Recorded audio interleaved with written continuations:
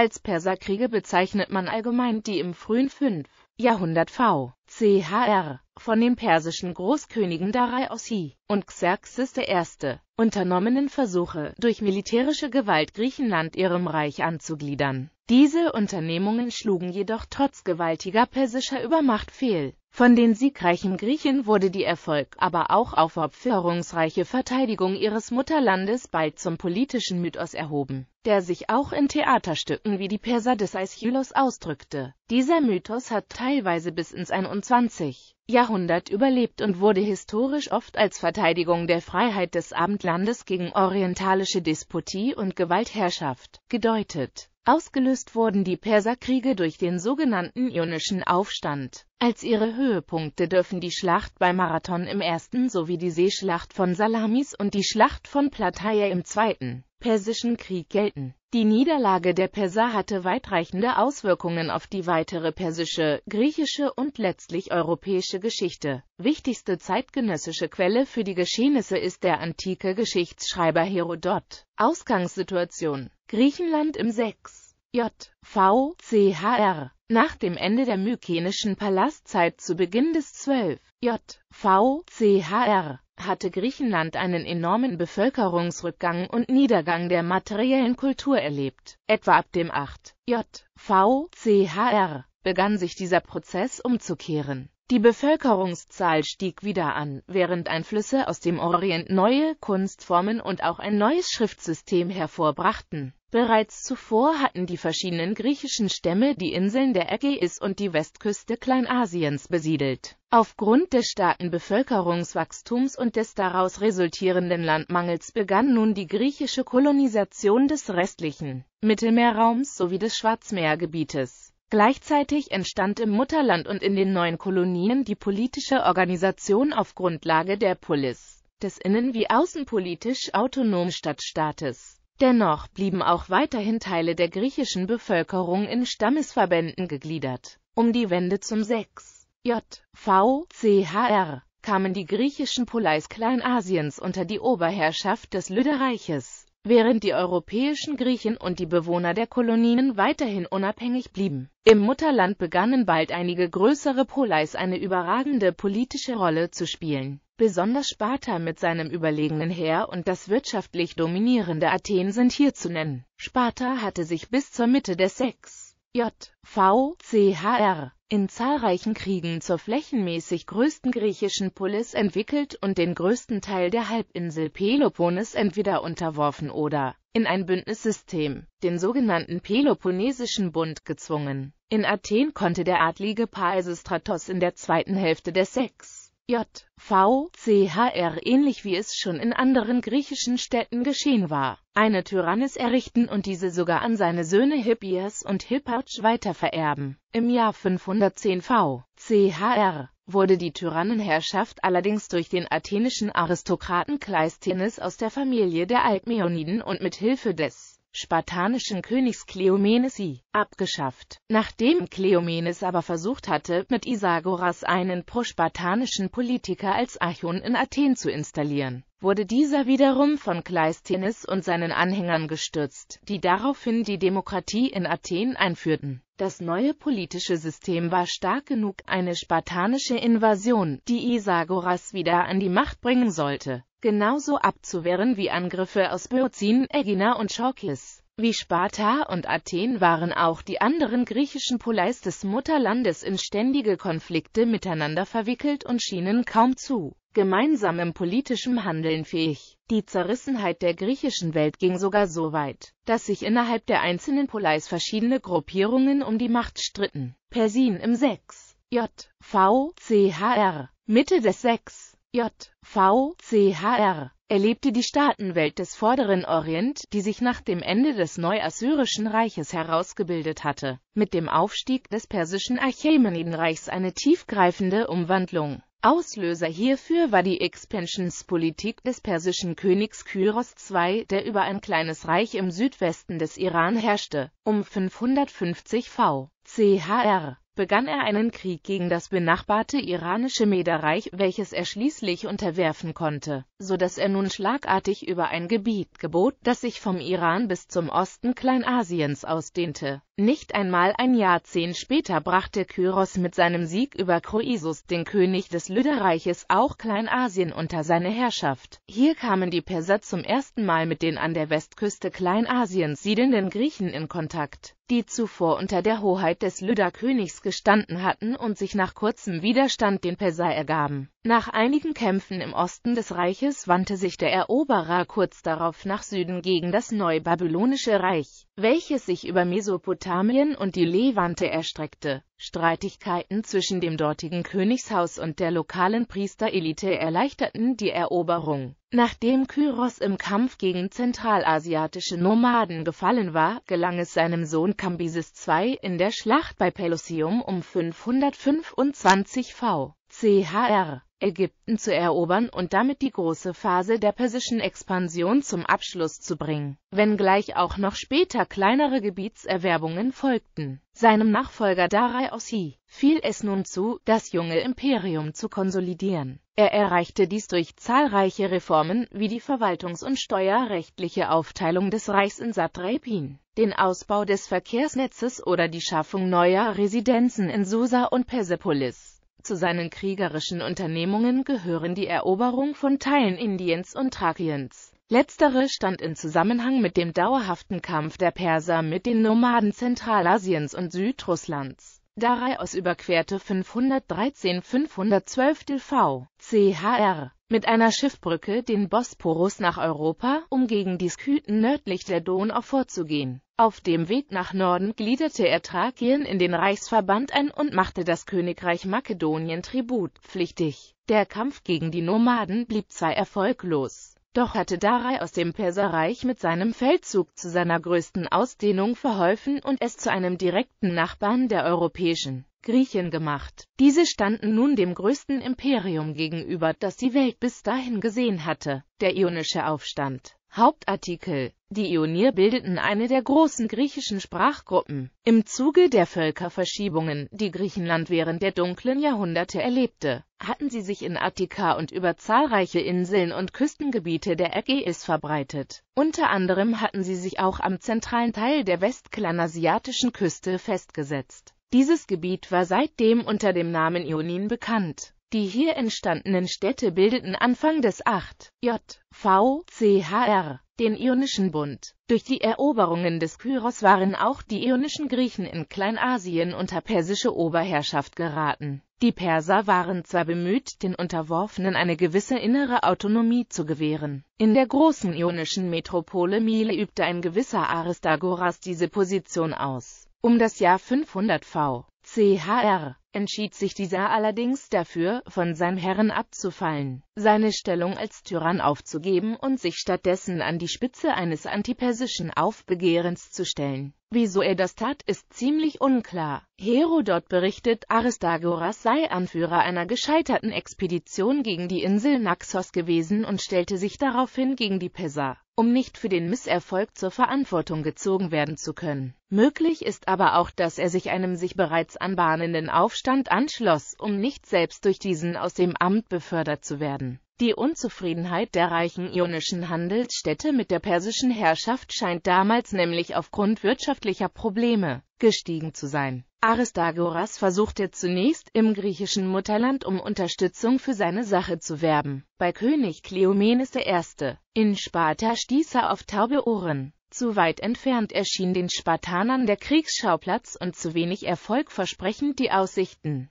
Zudem war man in Sparta im Begriff, einen Krieg gegen den alten Erzfeind August zu beginnen. In Athen hatte Aristagoras mehr Glück. Die dortige Regierung ließ sich überzeugen, den Ioniern mit 20 Kriegsschiffen zur Seite zu stehen. Auch Eretria auf Euböa entsandte fünf Schiffe. Insgesamt war der Beitrag der europäischen Griechen zum Aufstand eher gering, aber dennoch sehr folgenreich, wie sich später zeigen sollte. Der Aufstand verlief zunächst recht erfolgreich. Er traf das Perserreich offenbar unvorbereitet. 499 v. CHR gelang es den aufständischen Sardes, die alte lydische Königsstadt und wichtigstes persisches Zentrum im Westen einzunehmen und in Brand zu setzen Trotz einer Niederlage bei Ephesos weitete sich der Krieg bis zur Region am Hellespont und bis nach Karien und Lykien aus. Selbst auf Zypern erhoben sich nun die Griechen. Dann begann sich das Blatt jedoch zugunsten der Perser zu wenden. Zypern wurde zurückerobert und auch aus Sardes mussten sich die Griechen zurückziehen. 494 v. CHR wurde die Flotte der Griechen in der Seeschlacht von Lade zerstört und der Aufstand brach zusammen. Die Schiffe Athens hatten sich bereits zuvor nach einem Regierungswechsel in der Heimat zurückgezogen. Auch Aristagoras hatte Kleinasien frühzeitig verlassen und war nach Thrakien geflohen, wo er 497 v. CHR im Kampf gegen Einheimische starb. Um ein Exempel zu statuieren, zerstörten die Perser Milet, das nie wieder eine so bedeutende Stellung wie vor dem Aufstand einnehmen sollte.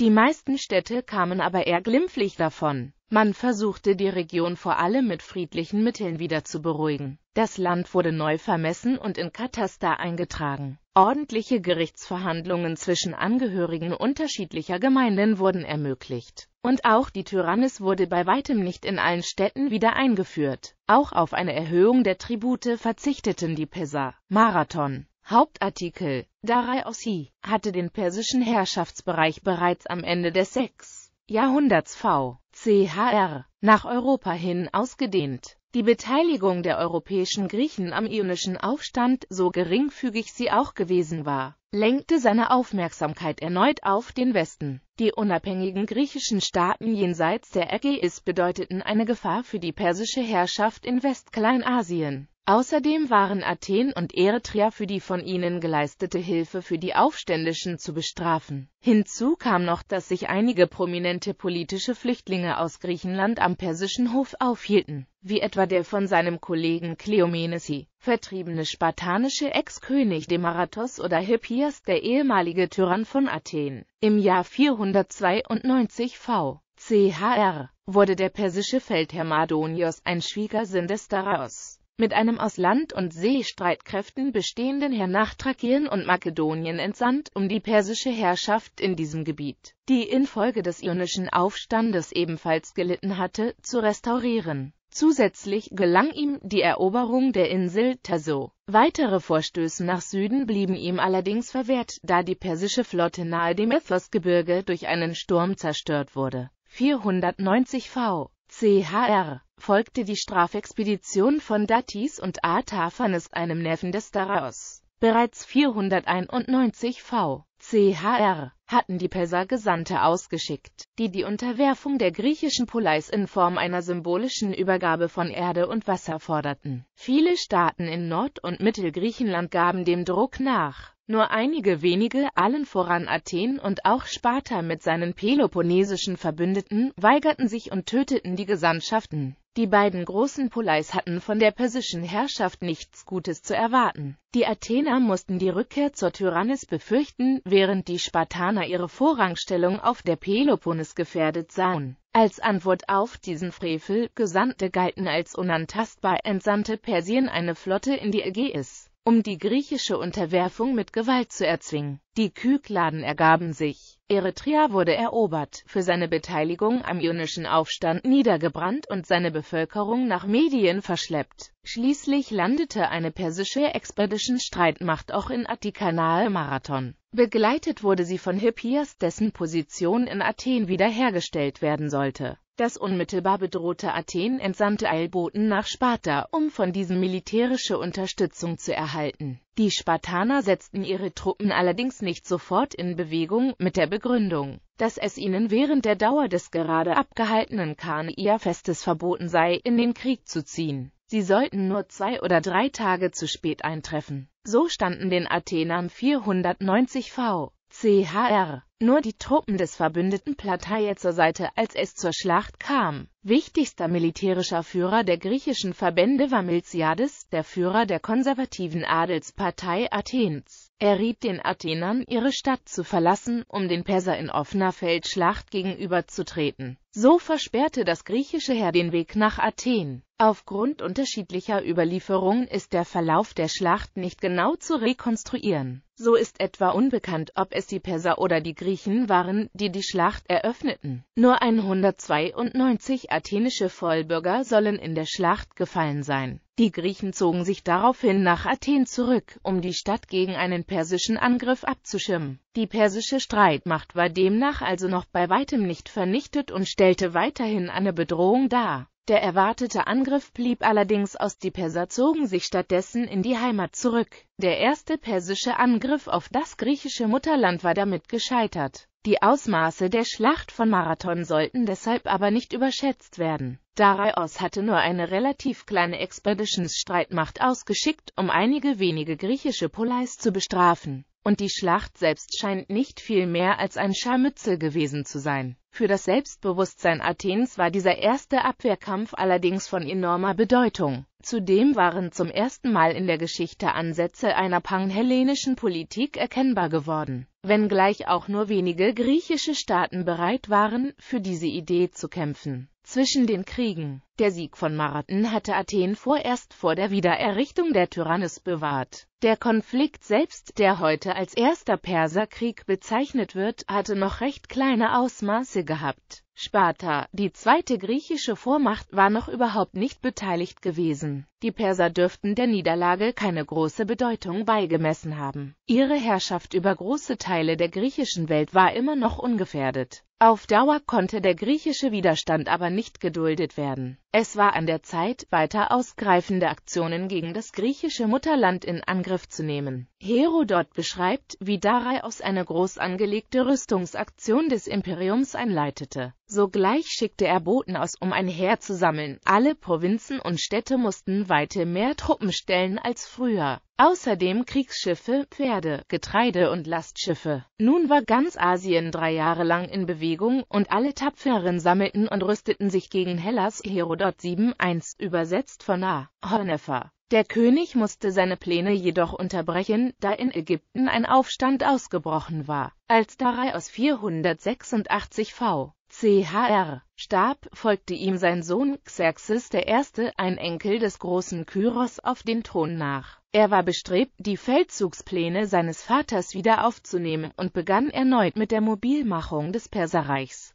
vor allem Mardonios, dem ein Kriegszug gegen die Griechen bereits einmal verwehrt worden war, scheint ihn darin bestärkt zu haben. In Griechenland schien sich die politische Situation nach Marathon kaum verändert zu haben. Auch der Sieg Athens änderte nichts daran, dass die meisten griechischen Staaten gegen einen Krieg mit Persien waren. Das Klima war vielmehr von der alten Rivalität zwischen den einzelnen Poleis geprägt. Argus Z. B., das eine dauerhafte Feindschaft gegenüber Sparta pflegte, wäre ein persischer Sieg sehr gelegen gekommen. Auch andernorts gab es konservative Kreise, die sich von den Perser eine Schwächung der demokratischen Gruppierungen in ihren jeweiligen Städten erhofften. Das Orakel von Delphi, die wichtigste panhellenische Instanz, machte keinen Hehl daraus, dass es jeden Widerstand für sinnlos hielt. In Athen und Sparta wurden derweil innenpolitische Kämpfe ausgetragen. Der spartanische König Kleomenes I. wurde abgesetzt und nahm sich wenig später in Gefangenschaft das Leben.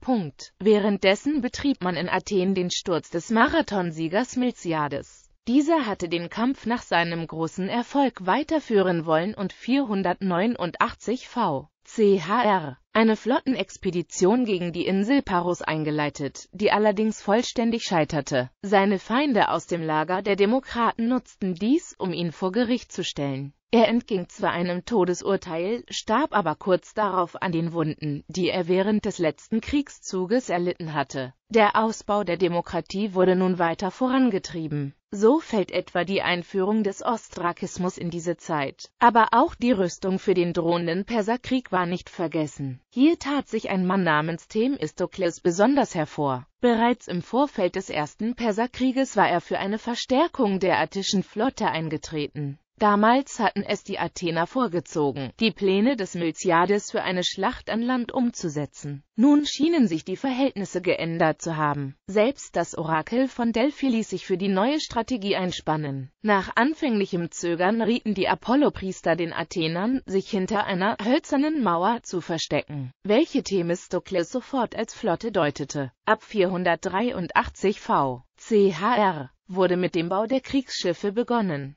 Finanziert wurde das Großprojekt durch den Abbau erst kürzlich erschlossener Silbervorkommen aus Laurien. Die neue Flottenpolitik wirkte sich wiederum förderlich auf die Entwicklung der attischen Demokratie aus. Für die Besatzungen der Schiffe wurden zahlreiche, auch ärmere attische Bürger herangezogen, die so auch mehr politisches Gewicht erlangten, da im antiken Denken Wehr und Staatsverfassung eng verbunden waren. 481 v. CHR kamen nahe Korinth die griechischen Staaten zusammen, die bereit waren, den Perser die Stirn zu bieten. Sie schlossen sich zum Hellenbund unter Führung Spartas zusammen. Selbst die Flotte der Verbündeten sollte von den eigentlich im Seekrieg unerfahrenen Spartanern befehligt werden. Neben Athen, Sparta und dessen peloponnesischen Verbündeten gehörten dem Bund noch einige Poleis aus Mittelgriechenland und den Kykladen sowie die Insel Ägina an, die kurz zuvor noch im Streit mit Athen gelegen war. Auch auf Hilfe aus den Kolonien Siziliens hatte man gehofft. Die dortigen Griechen wurden allerdings zur selben Zeit durch eine Invasion der Karthager bedroht und konnten keinen Beitrag zum Kampf gegen die Perser leisten. Der mächtige Tyrann Gelon von Syrakus hatte seine Unterstützung zudem davon abhängig gemacht, dass er den Oberbefehl über die verbündeten Streitkräfte erhielt, was nicht mit dem Führungsanspruch Spartas zu vereinen war. So war es insgesamt auch diesmal wieder nur ein kleiner Teil der Griechen, der den Perser Widerstand leisten wollte